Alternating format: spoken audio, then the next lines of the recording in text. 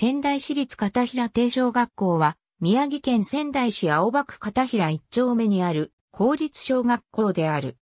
1873年の創立、1876年から1879年には、鳴華小学校と称した。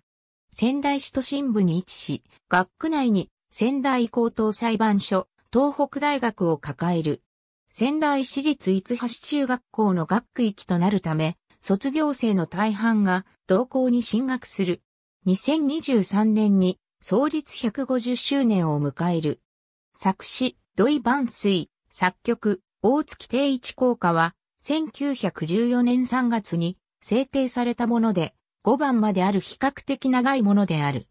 今日歌うには、不適切な箇所があるため4番は割愛されることが多い。日常的に歌われるのは1番のみで、運動会等では1から3番までが歌われる。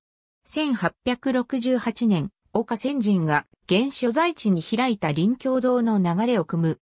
学生に基づき、小学校が設置された1873年に、第7大学区第1中学区第5小学区の小学校として設けられ、教員2人、生徒は男531人、女95人の計626人いた。